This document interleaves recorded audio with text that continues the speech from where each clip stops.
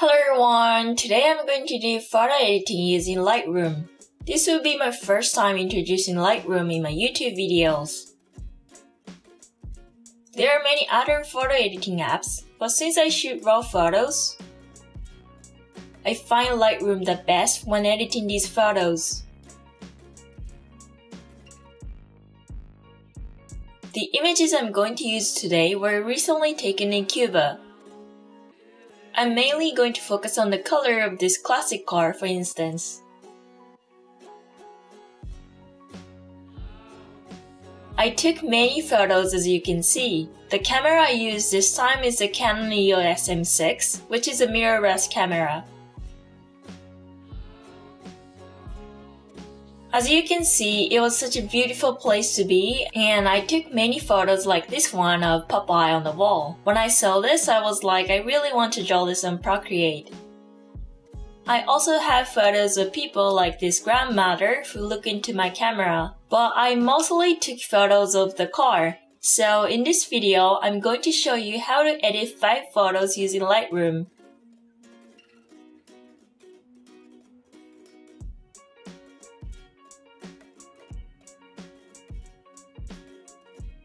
Alright, let's start.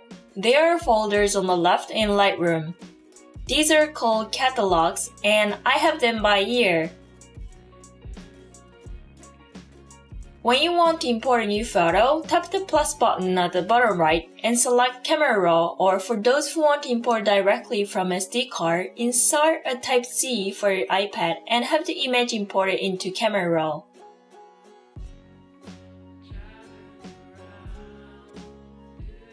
This time, I'm going to start editing multiple photos of a classic car which is already imported. I'm going to work on something orthodox using this image and show you how to brighten a dark image. In the tab on the right, there are options to adjust hue and tone, add filters or trim. Go ahead and start with tone adjustment.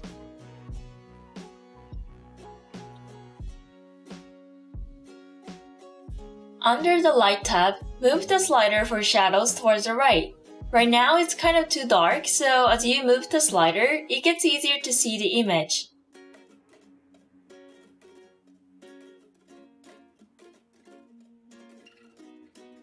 It's still kind of blurry, so lower the black level a little to have a sharper image.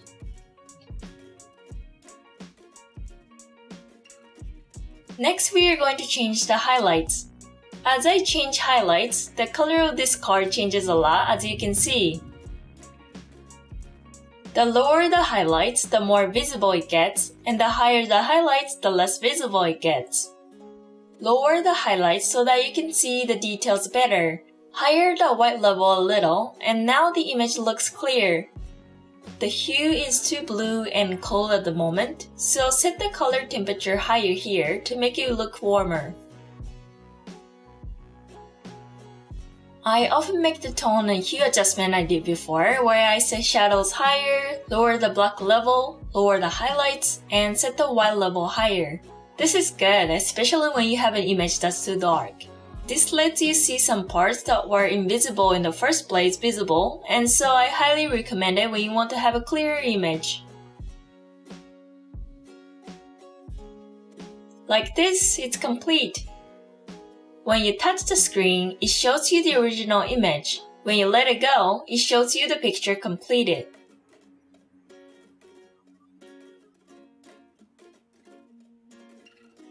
Okay, next I want to work on this image using the same photo editing method.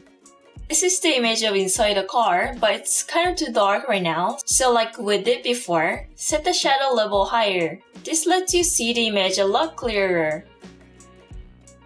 Lower the black level as well as the highlights and set the white level higher. Now the part that was too dark to see in the first place becomes more visible. This can be done because it was in raw image format, but you probably can't do this much with the image in JPEG or something. So I suggest taking a photo, saving it in raw image format, and editing it using Lightroom since you can do so much to make the image come alive. So this is what it looks like in the end. This was what it looked like in the first place, and this is after editing the image. When I zoom in and look at the car handle, I can see that its details are revitalized. That was about controlling shadow.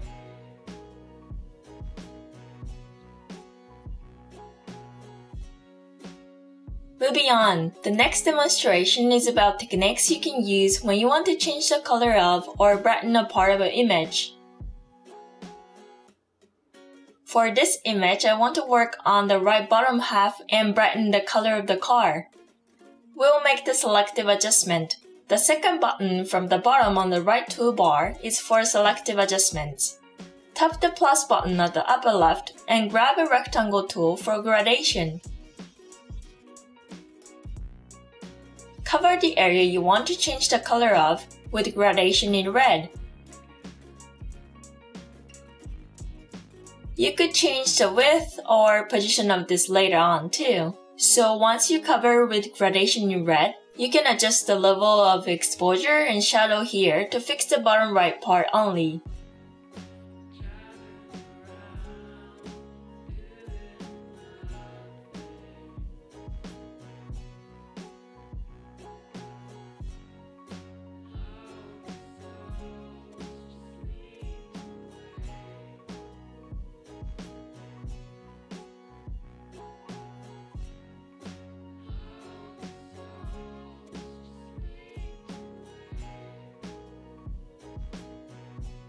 Okay, next I'm going to introduce you to the spot healing brush. This is a tool used when you want to remove unnecessary parts of an image. So here I'm going to remove these stains on the ground.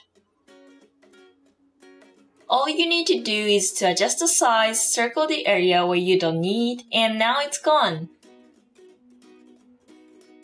Just like this, the ground is clean and this image is complete.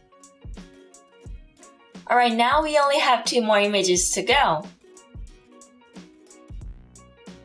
Next I will use this image of a yellow taxi. It's a taxi called Coco Taxi which you can find in Cuba. I'm going to change the color of this here. I forgot to mention earlier, but there's an option that says lens correction filter on the lens tab, so make sure to turn it on if you have an image in raw image format. This is something that autocorrects the distortion of the lens. I took this image using my Canon camera and it corrects distortion according to the lens of Canon. So if you have a picture taken by a Nikon camera, it corrects distortion according to the curve of Nikon. This is also a function you can use in raw image format, so I suggest turning the lens correction filter on for those who have raw image format.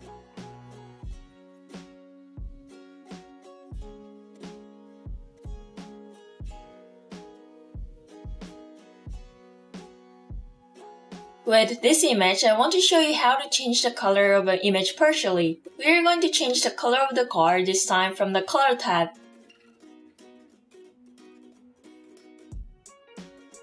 Click on the rainbow icon at the top here where we then show you a list of options below. So select the yellow area.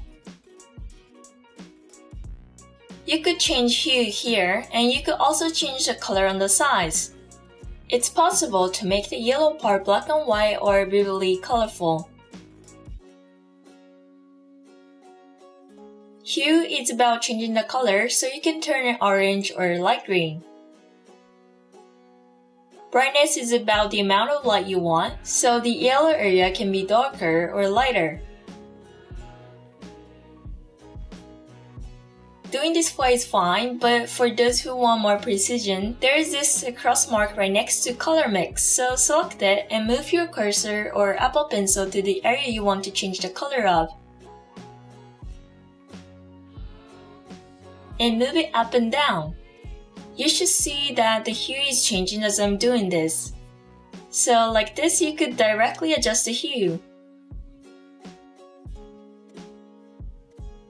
Right now, the Hue tab is being selected, but when you grab the cross mark with Size tab selected, touch, and slide the screen, you can see the change in the size. What's good about this method is that you can change the color on the intended spot more accurately. I use this often for this reason. So when you want to make slight alternations, you could use the cross mark here.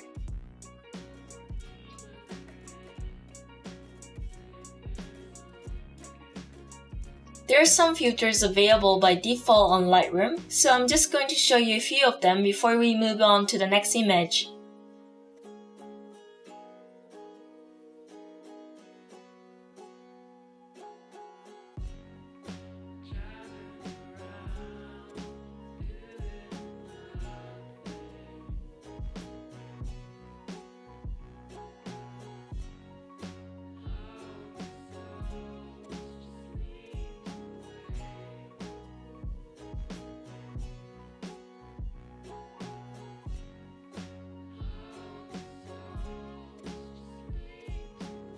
Alright, just like this, it's complete. At last, I'm going to trim this image in square size or in Instagram style. By the way, this Coco taxi is pretty interesting, so if you ever visit Cuba, please try it at least once. Okay, next will be the last image. We are going to do black and white composition. As you just saw, they already have filters ready here, so we are going to use one of these again. This time, choose a filter called Black and White Preset, which leaves the vivid impressions.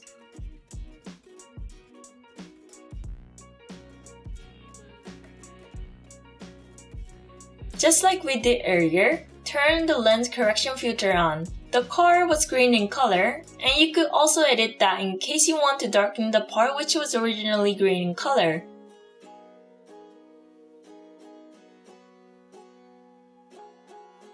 Like we did it before, from the color tab here, select the rainbow mark where it will then show you an option that says gray mix. Select green color, move the slider for brightness below, and now the part which was green in color changes. Go to the light tab and make adjustments and it should look nicely done.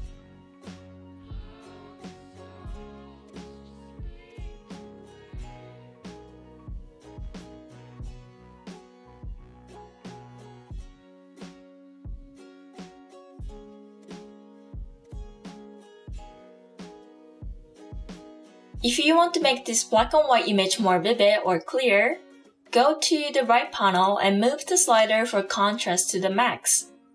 If you move it to zero, you would have a flat image.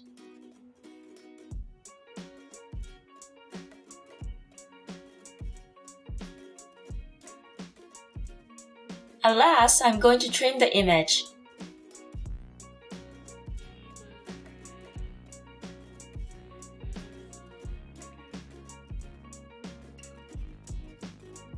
Alright, like this, it's complete. The image looks very vivid with a lot of filters on, but this is what I have now, and this is the original one. You can easily do photo editing like this, so I highly recommend Lightroom. It may seem difficult in the beginning, but once you get used to it, you can do advanced photo editing, so I hope everyone gives it a try and use it too.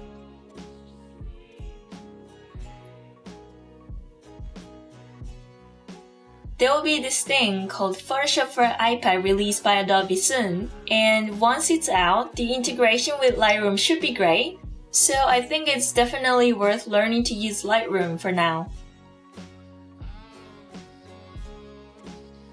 Alright, that's all for today. If you have any questions or comments, feel free to leave a comment down below.